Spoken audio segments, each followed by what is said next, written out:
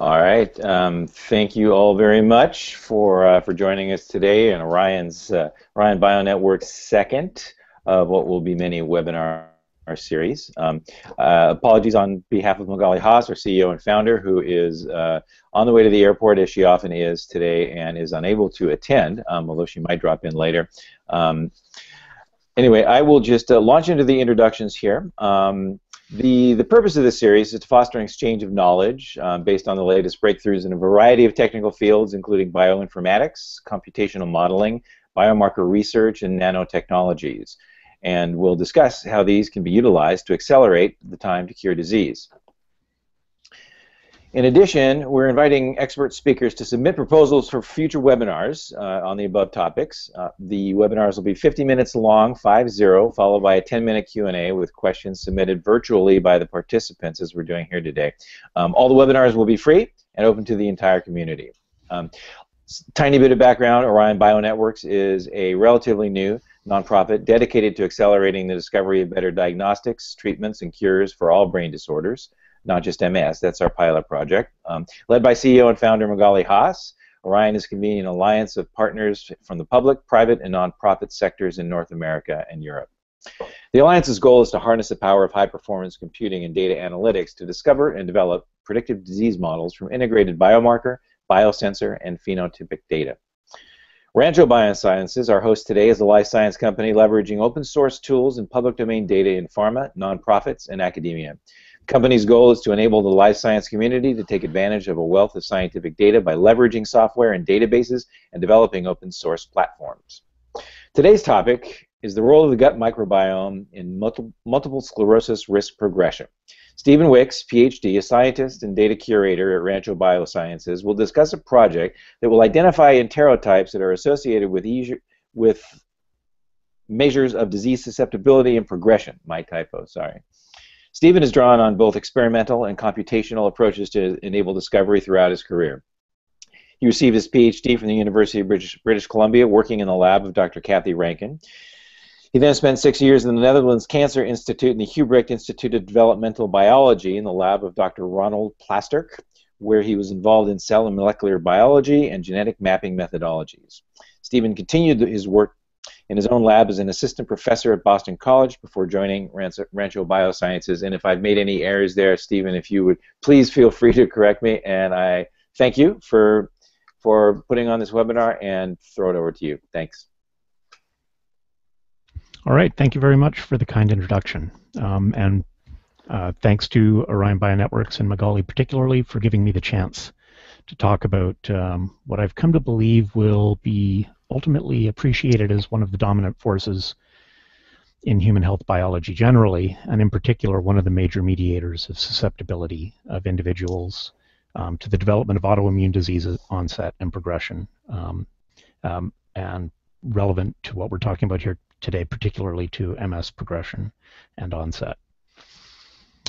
Um, here we go.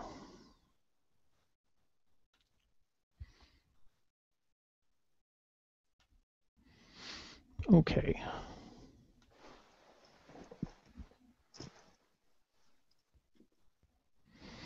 Okay, so the microbiome and MS. Um, I'm going to start by summarizing what I'm going to tell you. I find that helps uh, to keep things in mind as we uh, progress through the talk.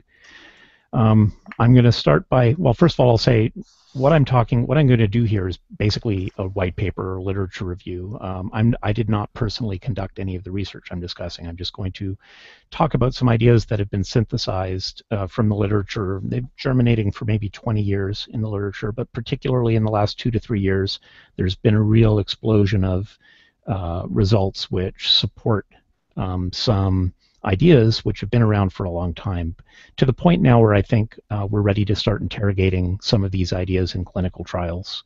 Uh, and uh, I think Orion is well positioned to provide uh, the infrastructure and support for that kind of analysis.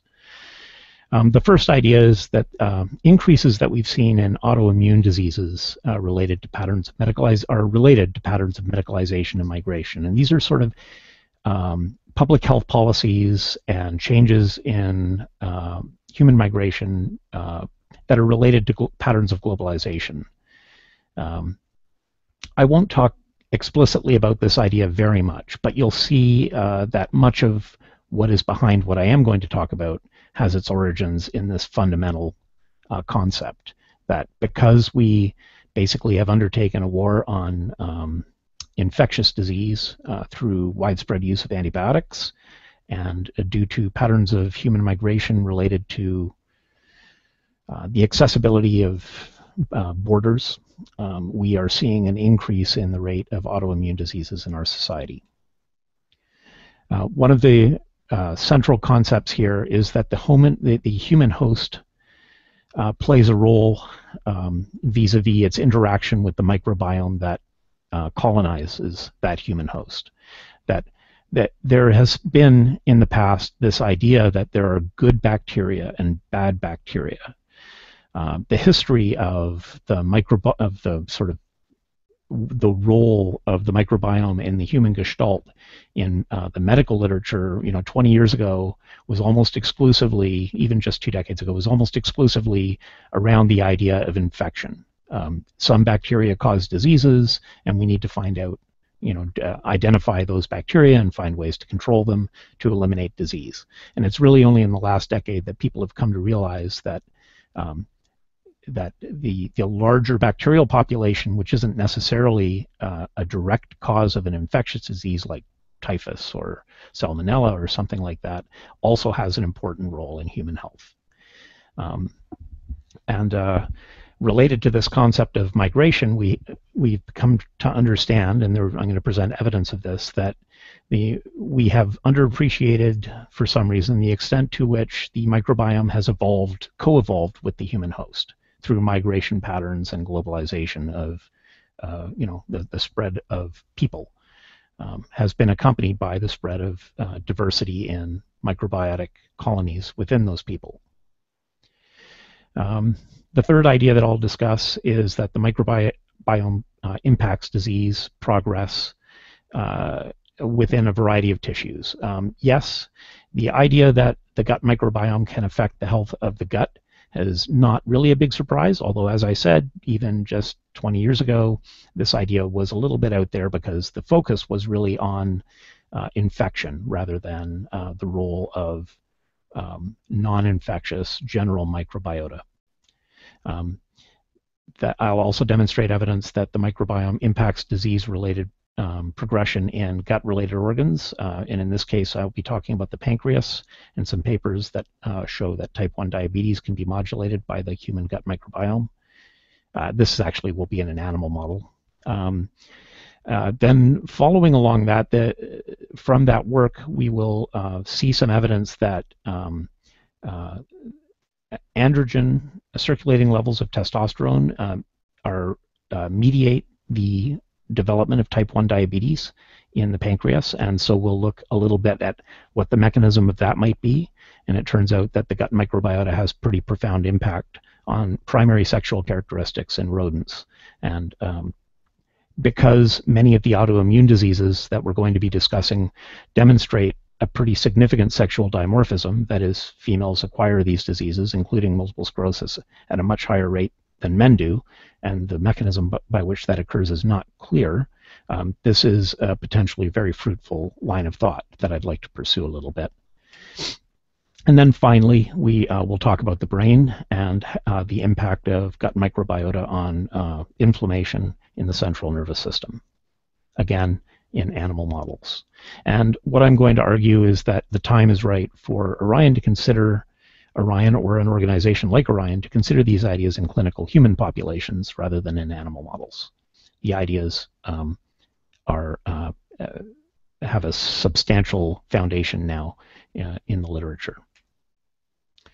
Okay, so the gut microbiome. At this point in the talk, uh, people think about bacteria, but I just want to highlight that the gut microbiome consists of more than bacteria. There are lots of viruses there. Uh, and other organisms, including parasites, which can have an impact and uh, work in, in, hand in hand with bacteria to produce these effects. Um, the gut microbiome is big. Uh, the, it's fashionable these days to talk about the gut microbiome as the, the newly discovered human, human organ or the overlooked human organ. Um, it weighs about the same as the brain. And I would argue that functionally it is as important to good human health as most human organs are. Uh, that you can't live a healthy life without a healthy microbiotic environment. Um, and is one of the discrete, uh, many discrete microbial colonizations in and on the human body. Although we'll be discussing mostly the impact of the gut microbiome, people are beginning to look at the skin microbiome and its relation to uh, skin diseases like eczema or uh, psoriasis, uh, allergic skin reactions, um, uh, vitiligo, and other autoimmune related uh, skin diseases, the upper and lower respiratory tract uh, microbiota are being considered within the context of COPD, asthma, and other uh, um, um, respiratory tract uh, related diseases, although I would not be surprised to discover that eventually we'll see connections between many of the mi- microbial colonizations of the body and um, just general human health. That is, I wouldn't be surprised to find that lower respiratory tract bacteria also might impact autoimmune disease progression in the central nervous system. Okay, so um, right now I want people to just stop for a second and think about what they are. Think about your body. Become a little bit aware of yourself. Sit up straight. Stretch your arms a little bit. Maybe take a deep breath and think about what you as a human being are, what your place in the universe is. And well, here we are. We are human. We are uh, creatures of about a trillion cells. Uh, but the way I think about humans is basically we are a bag of connective tissue that holds together a very large uh, overwhelmingly large population of organisms, of which the human represents approximately 10%. The vast majority of cells on, in, and around your body are not human cells. They are bacterial cells.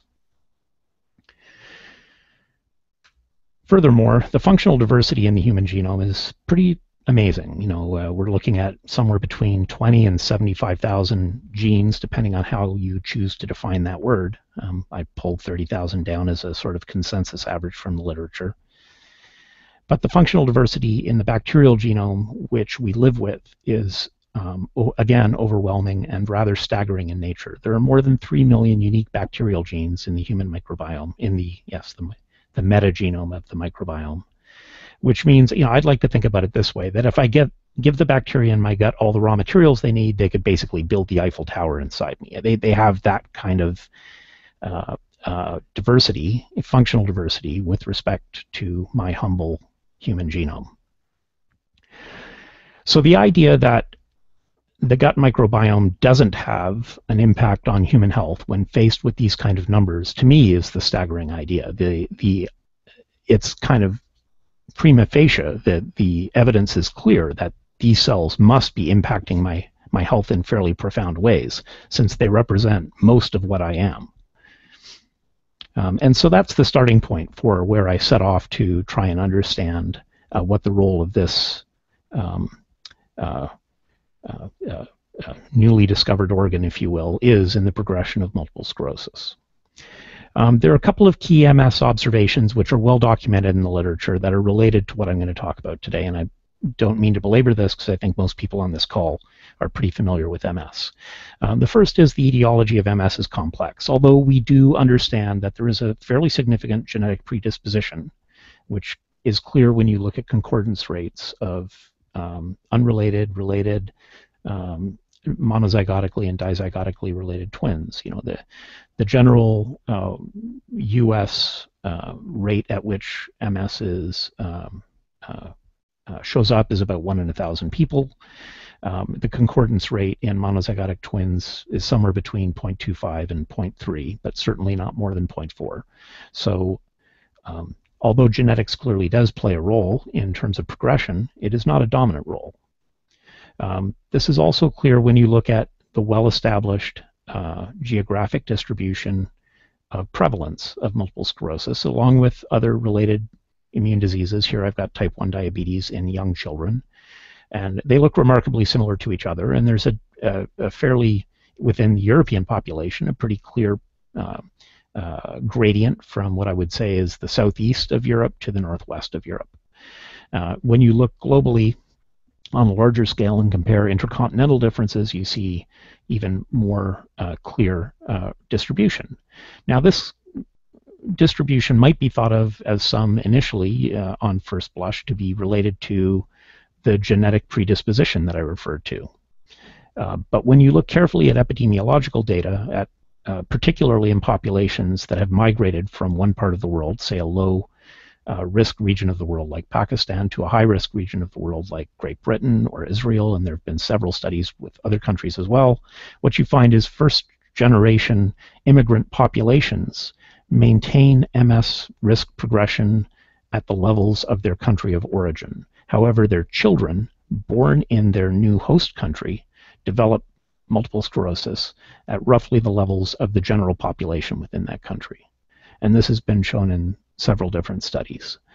So uh, clearly, this is not uh, uh, a reflection of a genetic predisposition. Uh, the thinking is that that there's some protective element um, in um, more equatorial regions or some uh, risk factor which exists at less equatorial regions which may um, uh, facilitate the progression of autoimmune diseases. Well, the next slide that I'm going to show you speaks to one possible um, difference between these different regions of the world. And this is the uh, slide which relates the degree of medicalization uh, to uh, what we will call the prevalence of the autoimmune epidemic. That is, since the Second World War, autoimmune diseases, including Crohn's, multiple sclerosis, type 1 diabetes, asthma, allergies, and many others, have been on the rise, uh, some increasing more than three or fourfold over the last 50 or 60 years. However, at the same time, when you consider um, the progression of um, uh, infectious disease, you see that they have been dropping. So what's been going on? Well, a couple of things have been going on. Um, uh, with respect to this slide, perhaps the most uh, relevant is that there has been a, a war on infectious disease, uh, and the primary foot soldiers in that war have been antibiotics. Uh, since the Second World War, we've set out to eradicate polio and mumps, measles, hepatitis, tuberculosis, and others. Uh, through widespread use of antibiotics, and that has been a triumph of Western medicine. However, there are unexpected consequences. Um, the one that uh, probably most people have been thinking about is the development of antibiotic resistant strains of these disease uh, um, carrying organisms, which uh, is going to be a major challenge for Western medicine over the next hundred years or so. Uh, but the unspoken um, sister, or perhaps an acknowledged consequence of this war, I believe, has been this rise in autoimmune uh, dysfunction because the same antibiotics that uh, act to eradicate the organisms that underlie these diseases also eradicate or largely clear cut the healthy biota within individuals. The healthy biota, which I think provide um, protection against the development of autoimmune diseases. Um, I'm going to talk about uh, three or four papers uh, which support the ideas that I've asserted early in this talk. The first of which uh, came out just a couple of months ago in PNAS. Uh, I think this is a profoundly important paper which is going to greatly influence our, our understanding of how the microbiota interacts with uh, the human.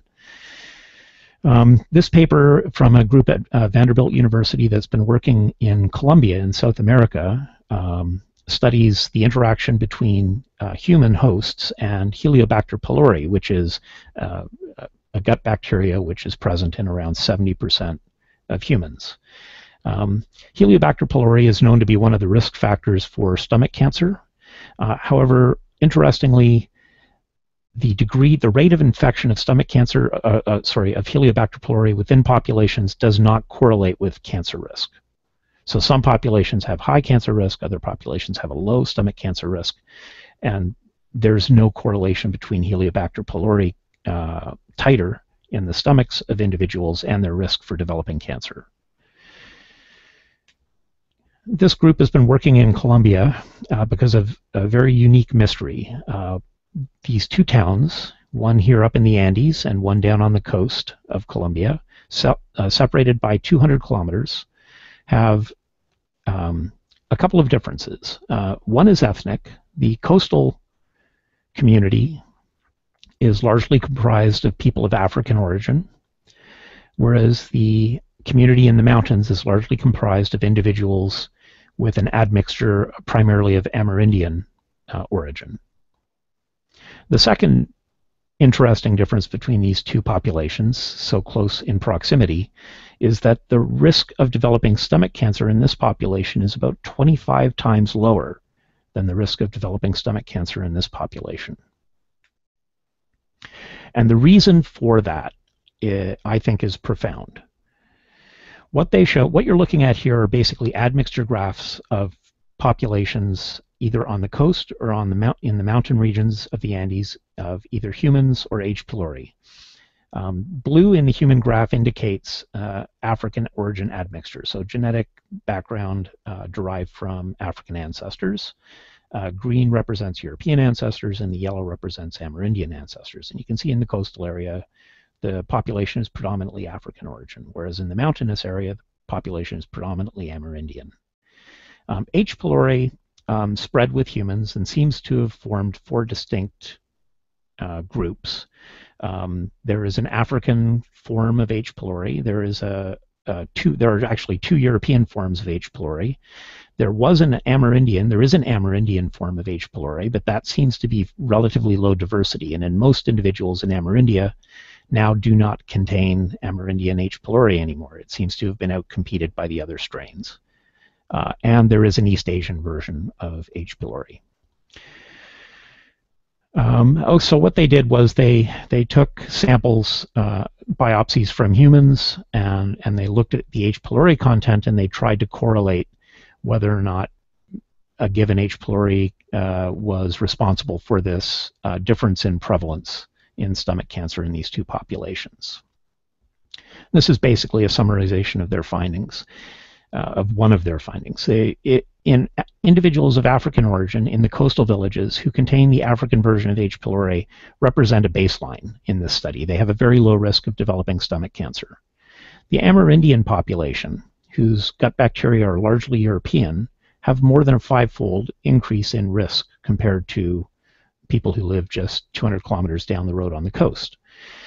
Again, the Amerindian version of H. pylori seems to have been outcompeted in almost all populations in South America. So here we have a version of the pylori which did not co-evolve in the Amerindian gut. And when you take the Amerindian, we look at the subpopulation of Amerindian individuals in the Andean Mountain Village, uh, city I should say, uh, who happen to have the African version of H. pylori in their stomachs, their risk of developing sub uh, that the risk of developing stomach cancer in that subpopulation is more than 25-fold increased over baseline.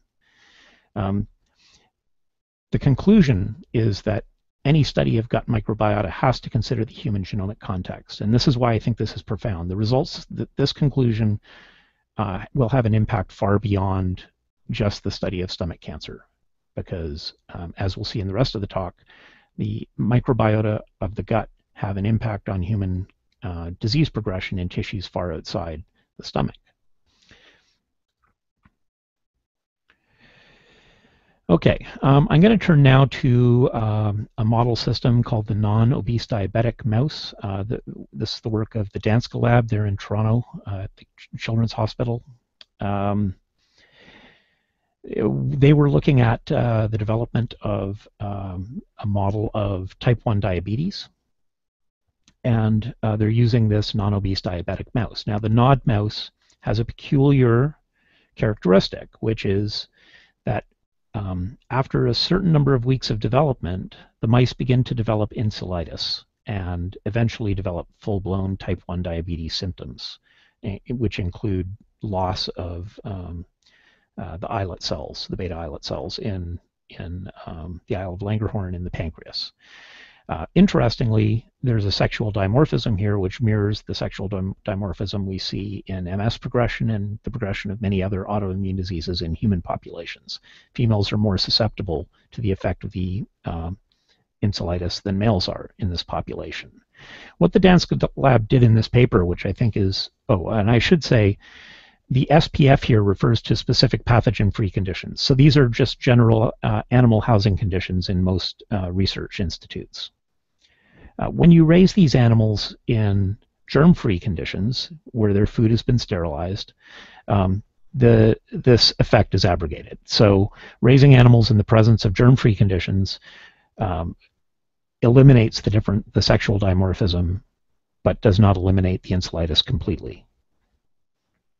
What the Danska lab did in this paper that I think is really interesting is they did cecal transplants. That is, they took the gut contents of mature animals and transplanted them into juvenile uh, females to see if they could modulate the progression of diabetes, uh, the progression of diabetic symptoms in this model. The black line here indicates the untreated female mouse. Again, by 35 weeks or so, 80% or more of the population has developed diabetic symptoms. The red line shows us what happens when you take the gut contents, the small intestine is open, the cecal contents are removed from an adult female and transplanted into juvenile female rodents. Uh, those rodents develop um, diabetic symptoms at about the same rate as untreated females. However, when you take the cecal contents from a male mouse, an adult male mouse, and transplant it into a juvenile female, and then raise that female, the female develops diabetic symptoms that more mirror the male population. This was a pretty startling result. Okay, so cecal transplants from mature male NOD mice to female mice transmit resistance to the symptoms of diabetes. Uh, the Danska lab went on to show that this was modulated in a hormone-dependent fashion. Okay, so this is basically a the, the first four bars here are just a recapitulation in another form of the previous graph. We have the control female, we have the female transplant situation. Uh, this is a control which I didn't show you earlier. Uh, they take the cecal contents from male mice and they filter all the cells out and just trans transfer the fluid, which might contain cytokines or what have you, and that has basically no effect um, compared to uh, um, a full cecal transplant from a male mouse. This last bar represents what happens when the uh, recipient mice are pre-treated systemically with flutamide, which is an androgen receptor blocker. It completely uh, reverses the effect of the protection provided by the male cecal contents to the development of diabetic symptoms in this mouse. Okay, so with respect to this talk, this um, the main conclusion here is that the gut microbiota can modulate inflammatory responses outside the gut and uh, subsequent autoimmune disease progression.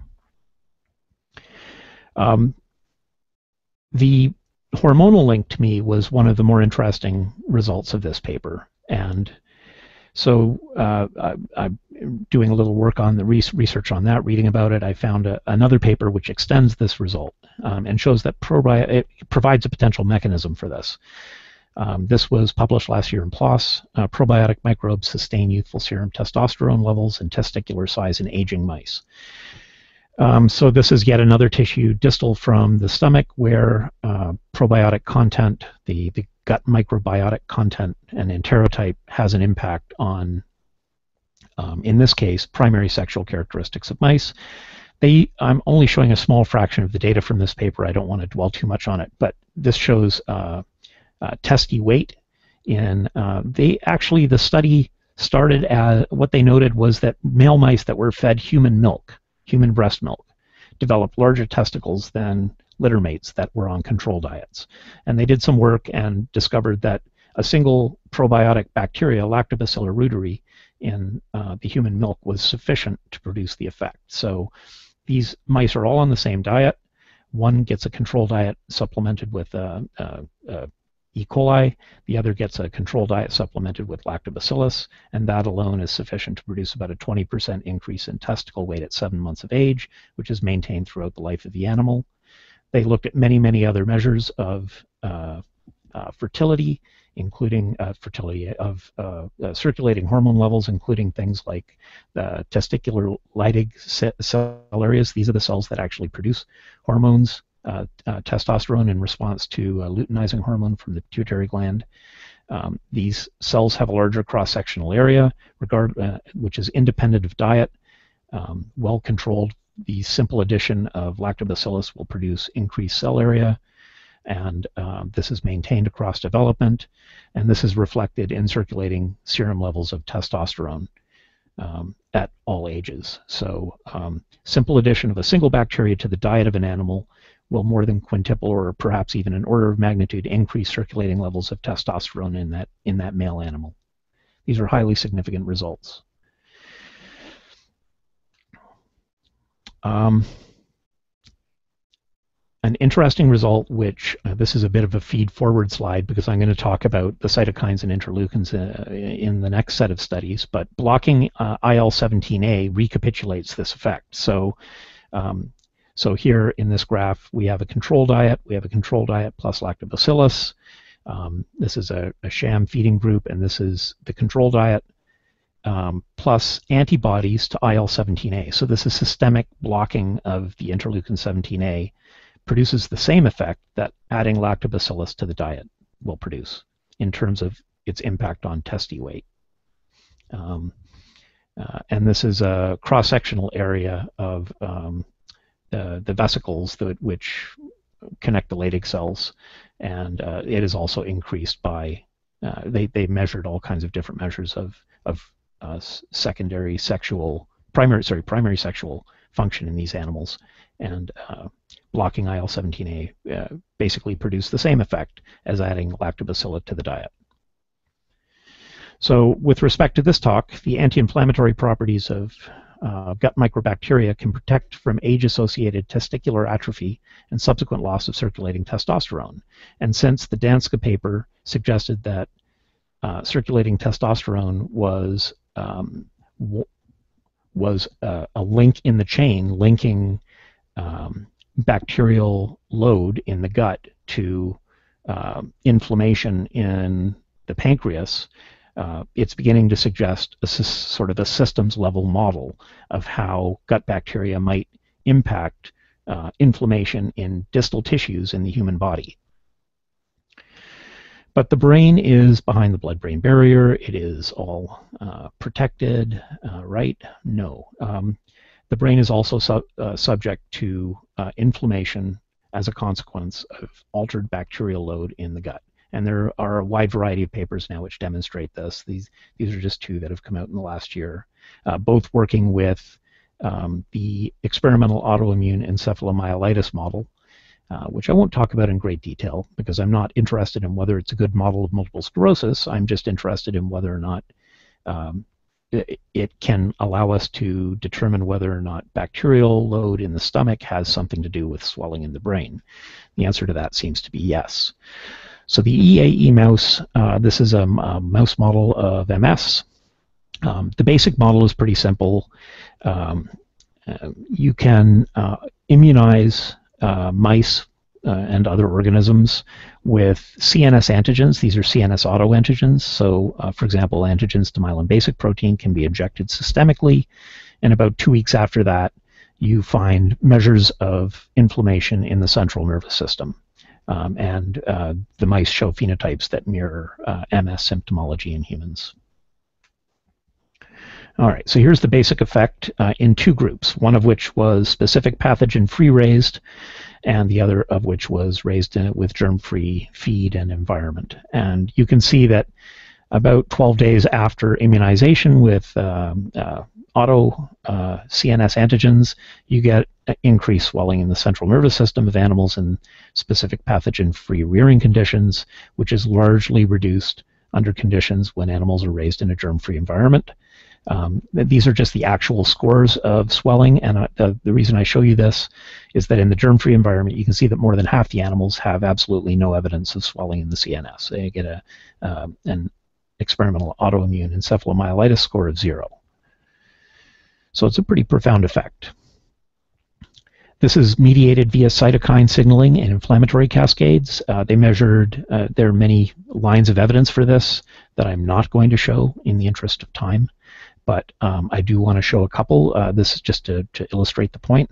Uh, IFN gamma, IL-17A, which we saw uh, in the testes paper, uh, both are elevated under specific pathogen-free conditions about eight days after immunization relative to germ-free conditions. Um, these are cytokines that are related to T helper, CD positive, uh, CD4 positive T helper uh, 1 cells, which are the intracellular response, and the uh, T helper 17, which is the extracellular response, or one of the extracellular response pathways. Um, these are both pro-inflammatory cytokine signaling cascades, which are recruited by um, uh, uh, presumably pathogens in the stomachs of these animals. Uh, I won't say pathogens, I will say pro inflammatory microbes. Um, and this was explicitly demonstrated when they reintroduced uh, a single segmented filamentous bacteria into the feed of these animals that largely reduced the effect of, um, uh, it, it, largely restored the uh, uh, uh CNS inflammation in, in germ-free fed animals.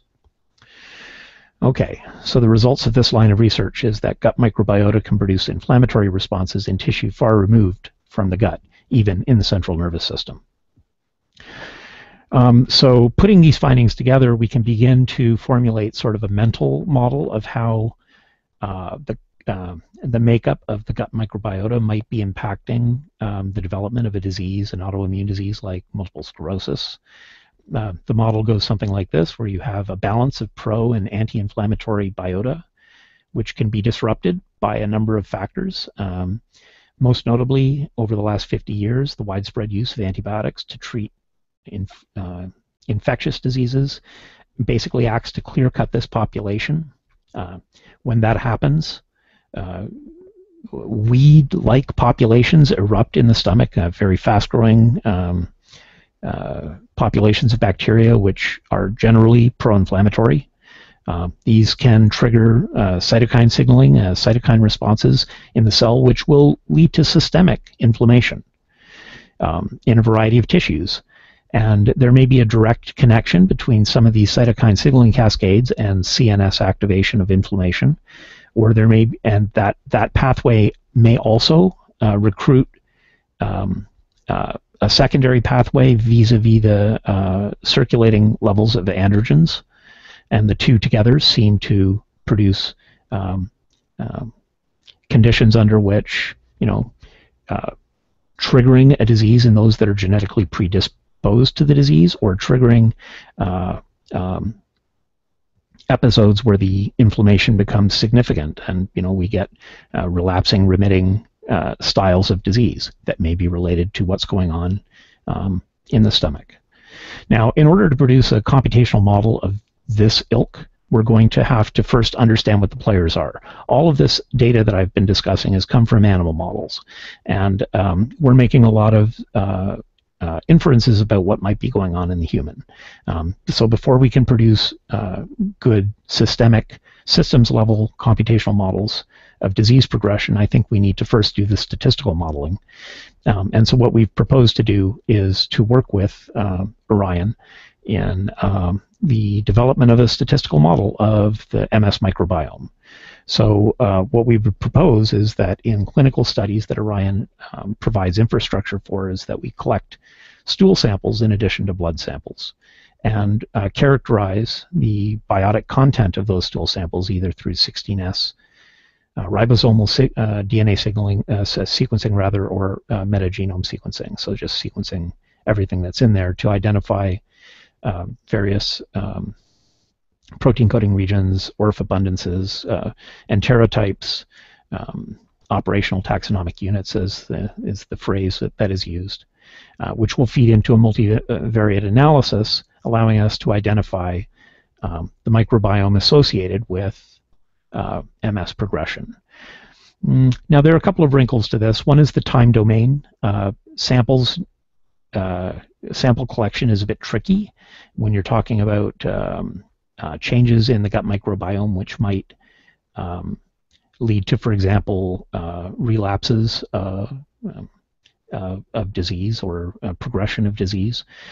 The other harkens back to the first paper I discussed with Heliobacter pylori, and that is this information needs to be cast within the context of the human host.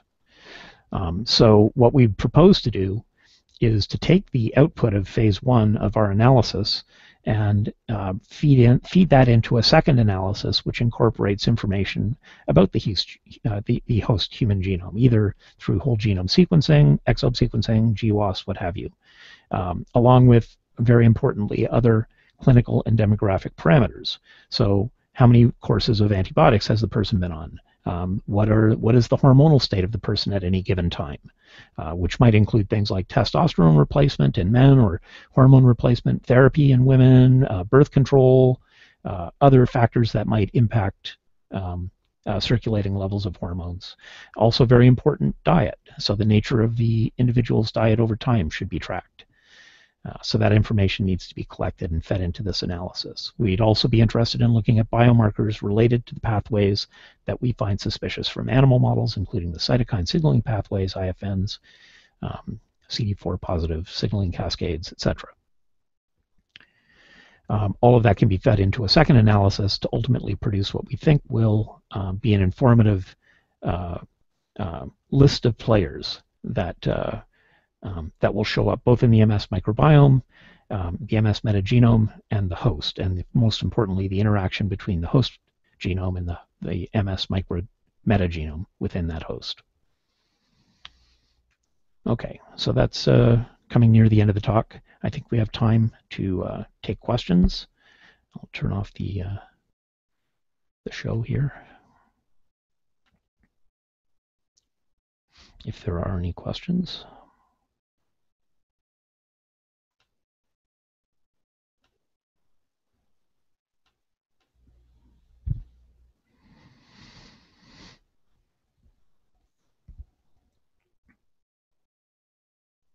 All right. Here we go.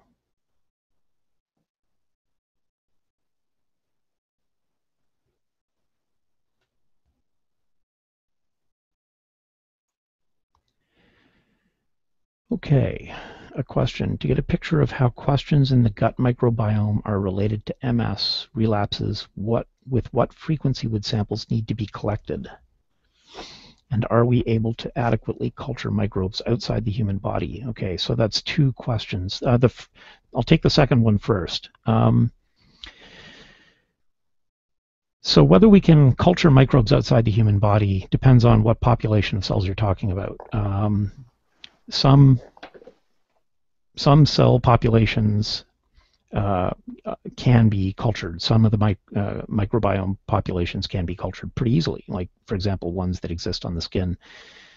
Uh, but the gut microbiome is in some ways the hardest to tackle in this regards. Uh, there are thousands of species of bacteria in the stomach, and more than 90% of them, uh, last I read, still can't be cultured outside the stomach. Um, so that is largely undiscovered country that we're talking about. It is uh, the, the way these organisms are currently being cataloged is through whole metagenome sequencing. I mean, we're just basically taking stool samples and biopsy samples from intestinal tracts and um, uh, sequencing those directly and classifying them according to taxonomic unit, um, as opposed to sort of uh, culturing them outside the body. There has been some success with fermenters, where whole populations of cells um, uh, are cultured in uh, um, a fermenter, um, you, sort of along the lines of uh, you know the way large populations of cells might be cultured for production of antibiotics or something like that. Uh, what's going on there is that probably there are sets, large sets of cells that form an enterotype that where any individual species within that set doesn't have all the tools to exist on its own. So they are concomitant co-symbionts in the human intestine. Um, so I hope that addresses the second question. The first question, uh, how frequently will we need to take samples uh, in order to get a good profile of what's going on? Well, that depends on the size of the study because if you have a large enough study, then you have enough samples at the right time by chance. Um, but of course, you increase the chances of identifying a correlation between, say, exacerbation of uh, MS symptoms and uh, a change in the microbiotic frequency if you take stool samples more frequently. Um, so I would argue as frequently as, as is sort of logistically possible uh, would be ideal. Um, but we'll have to um, see how the clinical studies shape up, and uh, we'll be working with um, the other teams at Orion, you know, to provide input on that as needed. Okay. Um, another question: Do you propose looking at the microbiome for answers, or is there any interest in looking at cytokines and cytokine blocking agents as a possible approach to understanding the impact of the microbiome? Yes. Um, well, the, the nice thing about the microbiome, sort of from a therapeutic point of view is that it's there has been some evidence in the literature recently that it's pretty it, it responds pretty quickly to changes in diet. That it is possible to consciously mold the microbiome that you maintain through sort of systematic alteration of diet. Um, so that is uh, uh, that makes it a very attractive candidate therapeutically because if you can recommend lifestyle changes um, based on molding the microbiome, which may, by the way, include things like like therapeutic interventions related to cecal transfer. Uh, you know, capsules that will maintain bacterial populations through the stomach into the intestine before releasing them, or what has become um, sort of a, a, grassroots movement actually among populations of people who suffer C. difficile infections, which is Clostridium, uh, which is really a horrible, horrible uh, infection of the lower uh, colon um, that leads to well severe dehydration, diarrhea. It is in some cases even a deadly infection that has been extremely difficult to treat with antibiotics. Again, because the antibiotics go in there, they wipe everything out, they de- destroy all the bacteria, and difficile is one of those weed bacteria that pop up very quickly, opportunistically in environments like that, so they regrow. Um, uh, what people have been doing is cecal transplants, uh, basically uh, fecal transplants. They're taking poop from healthy individuals, purifying it uh, uh, in blenders in their kitchens, taking it back to the bathroom, and and doing enemas with it and having absolutely fantastic results in the case of C. difficile.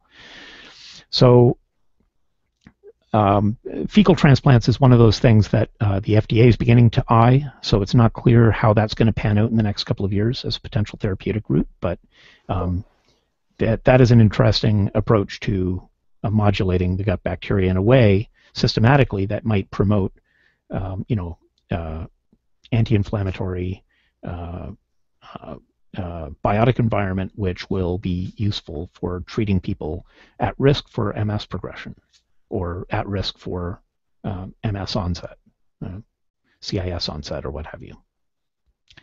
Um, direct intervention via cytokines and cytokine blocking agents is, enough, is, is something that uh, you know um, uh, the pharmaceutical industry is probably looking at actively now um, and might be interested in collaborating with Orion on in, in a, a, study that looks at this sort of material.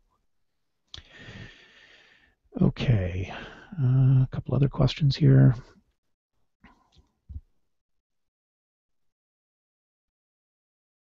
Metabolome. Will we be measuring the um, metabolome in concert with enterotypes? Yes, yeah, so we do definitely want to look at biomarkers. Um, uh, as much as possible. Um, it's not clear yet uh, how much access we'll have to that kind of information, but that is that's an intriguing idea. Okay, and a, a, question from Stephen Larson. How can we transform the mental model you describe of how the gut microbiome affects the nervous system into a computational model? Well, once we identify the players that are involved using uh, the statistical approaches that um, I've described, then you can start to think about making a systems level model where you know you model the the uh, uh, the, the compartments uh, of the various tissues separately, and you you have the input or output from each tissue um, to downstream, or you know we, we network these compartments in a way that makes sense. Um, so systemic systemic uh, relationships would require that these networks be bidirectional. Um, uh, so you would be modeling specifically the the gut uh, lumen. You would be modeling the gut epithelium where the interaction between you know uh, the probiotic and anti uh, sorry pro-inflammatory and anti-inflammatory uh, signals uh, impinge upon the cells of the human for the first time and trigger cytokine cascades. You'd have to model the cascades. You'd have to model um, the relationship between circulating cytokines and inflammation response, inflammatory responses in target tissues, which would include both the central nervous system and I would argue also would have to include uh, um, uh, the uh, uh, hormonal cascades of the male and female anatomy uh, and impact via uh, circulating levels of sex hormones in individuals.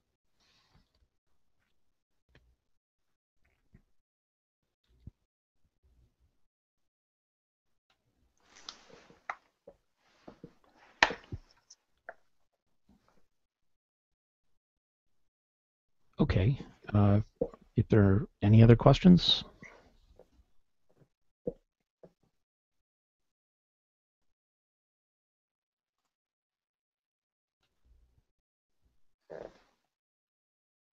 We've got nine minutes.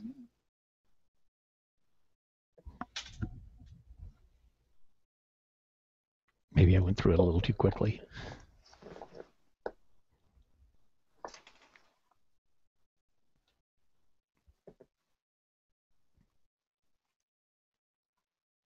All right, we'll give last call for uh, questions here since there don't seem to be any more.